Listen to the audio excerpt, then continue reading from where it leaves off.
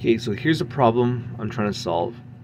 This is an Acer C720 or C740, so it's an older Chromebook.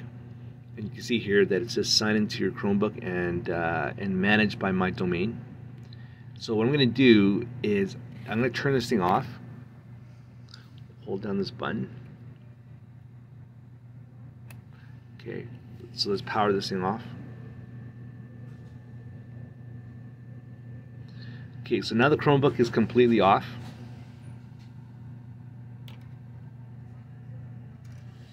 Now, when I turn it on, so I'm going to turn this thing on,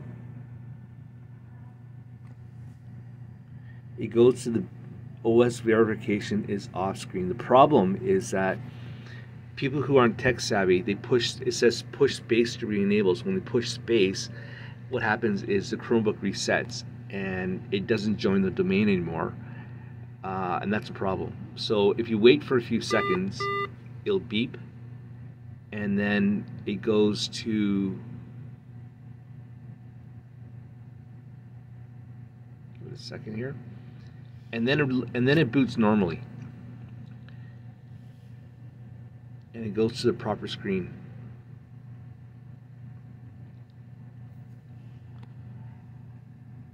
Okay.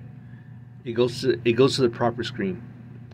So the problem is that it boots to the OS verification off screen. People push spacebar and then resets the device, and then it, it's not joined to the network. It not it's not joined to the Google domain anymore. So looking for solutions. Thank you.